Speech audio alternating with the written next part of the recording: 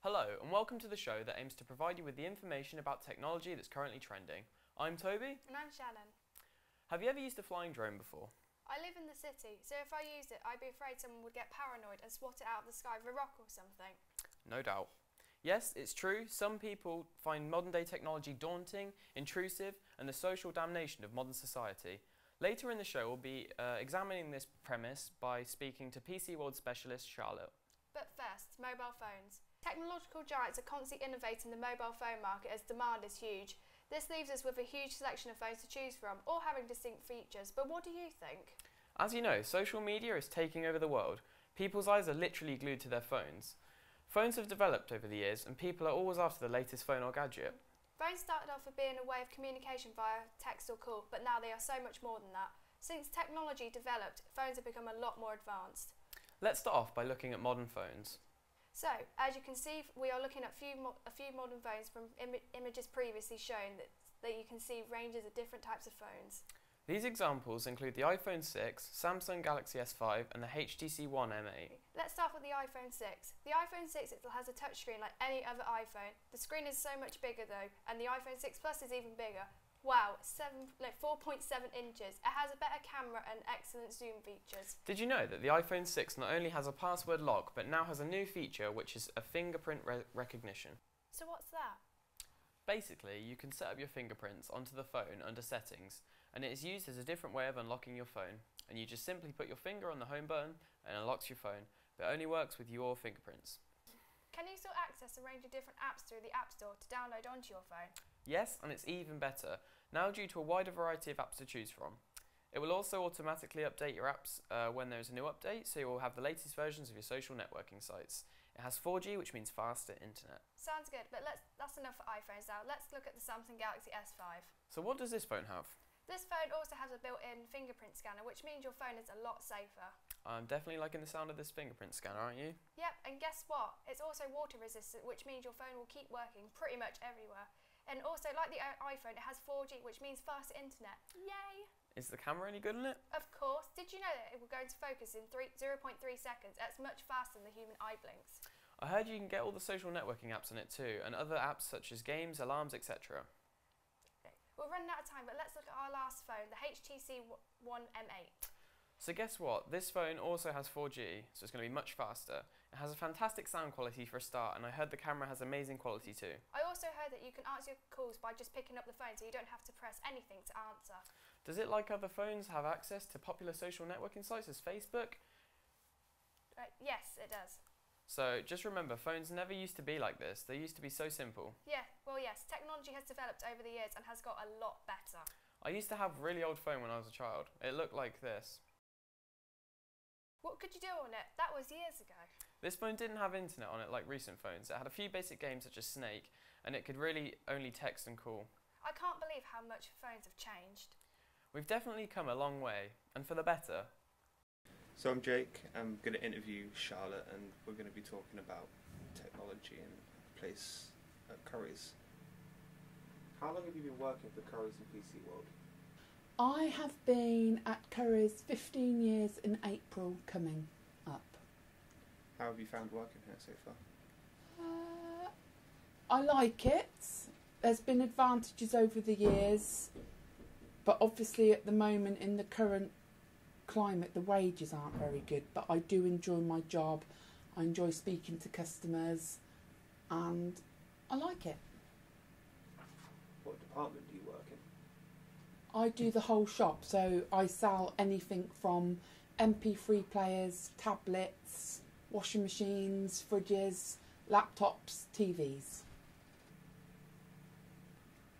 Uh, what's the weirdest gadget that you sell here at PC World? Okay, so I think the weirdest gadgets are like the drones. Oh yeah. They're not weird, but they're really fun. Yeah. But I think the electrical market over the years, so the weirdest thing I think we've sold since I've been here is swimming pools. So we've sold things over the years to try and make more profit, like wrapping paper, swimming pools, bikes. But that was weird when when they brought in swimming pools But the weirdest thing at the moment is like the new Internet of Things, which is like fit bands. As you can see, I'm not into exercise, and I couldn't think of nothing worse than having a fit band. Being obsessed, con- that's what in- is constantly obsessed with what we look like, everything, and I think the internet has a lot to blame for that. Black Friday and Boxing Day were peak times for sales. How do you think customer behaviour changed during that time? I don't know about the customers, but it's horrific to work because the customers,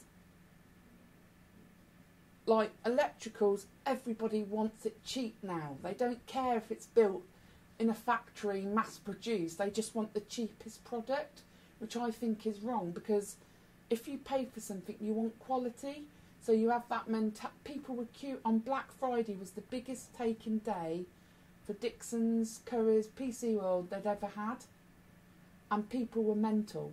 They just wanted a bargain, which they did get. But Boxing Day, Boxing Day, everyone should be closed. Tell me more. Well, it's consumerism, isn't it? It's the new disease. I feel. Thanks, Charlotte, for you know talking about your views and you know, making yourself available to talk to us. You're welcome. Do you like video games? Of course you like video games, you love them. So here's Shannon to tell you about the current releases.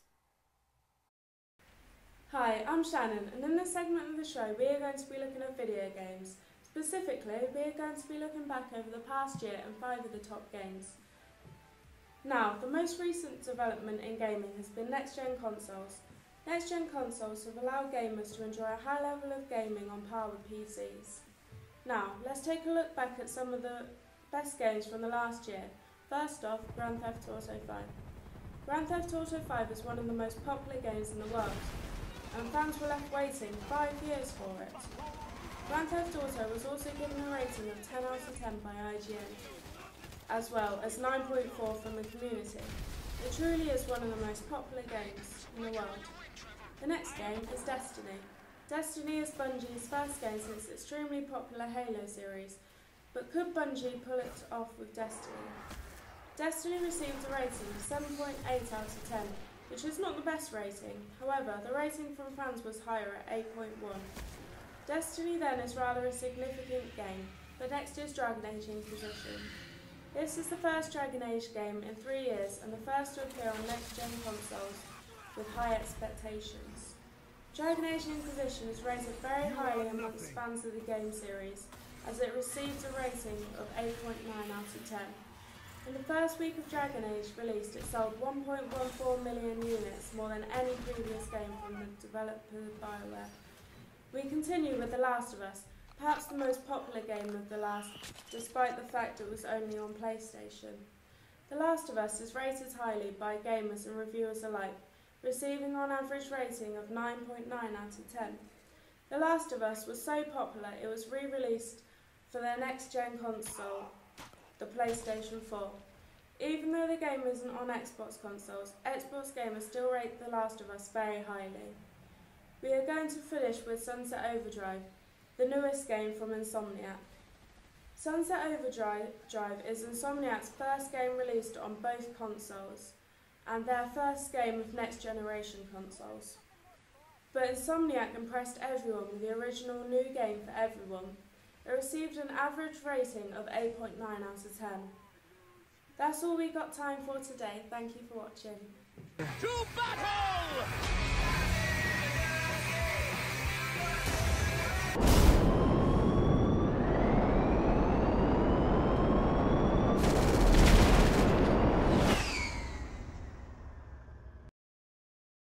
What would you rate it, Destiny? Well, personally, I've never played the game before, but from what I've heard, it seems like a pretty good game. Hey, the same. Anyway, if there's anything we can learn from the smart belt, a belt that has a computer in it, it's that technology is becoming integrated with pretty much everything. Gadgets, what are they? They all seem to confuse me. Do you know what they are? Well, in a nutshell, a gadget is a device or an accessory that makes you and your smartphone happy. Why do you like gadgets? Do you mean like advantages? Yeah, I suppose. Well, these gadgets work faster for you to search through information. That is a huge plus. Is there anything else that makes you like them? Anything else you'd like to know? Well, I think our audience would like to know about what kind of gadgets that are actually available. Well, this is a tricky question. Gadgets are changing every single day, but the top gadget of 2014 was the Polaroid camera. That's not surprising. It's a very nifty bit of tech. What's the top gadget of 2015? Well, to be precise, January 2015. The top gadget of January 2015 is the selfie stick. Is there anything good about the Polaroid? Well, the pictures come out instantly, but you have to wait for the pictures to develop. But it is worth the wait after you've seen the picture. Anything good about the selfie stick? These days, everybody loves taking selfies. There's even a song about it. Oh, I've heard that. It, I don't have an opinion on that one. Me neither. But when it, when it comes to the Polaroid camera, you always have to buy the film for the camera. But when you run out, it costs a lot. But the best way to buy it is to go on Amazon or eBay. Anything bad about the selfie stick? Nothing really, but it will be embarrassing if you take a selfie by yourself. What's the point of using a selfie stick if you do it alone? That's true. Well, did you know that the correct name for a selfie stick is a monopod or a GoPro? Wow. Did you know that it was founded in 1978? Hmm, interesting. What about anything else? There are many types of Polaroid cameras. You have to be very careful looking for the right one. All right then, I'm going to talk about Polaroids. The Polaroid films are, are at least more than ten pound in Amazon and eBay. The real product lets you s- save up quite a bit, so good luck. You can find the product from Urban Outfitters. Just go on the website and search for the cameras. I will go there as soon as I can. Hmm. Anything about the selfie stick? Anything else? Like the Polaroids, you can buy it on the internet, but the reads read the instructions first, as you might look like an idiot if you don't know what you're doing. They come in different colours. You can use them anywhere. And also make sure you've got the right one for the right phone as well. Pro tip. The smart belt is something I need in my life. Next week, perhaps. Yes, ambiguous gadgetry is something we love here on this show. Next week, we'll definitely have to try out the smart belt for ourselves. We- We're running out of time. I would have liked to have touched up my gecko pads myself, but I guess we'll save that for next week. Gecko pads and smart belt combine, combined, perhaps. Gecko like superpowers with the effectiveness of weight control. Anyway, until next time, goodbye.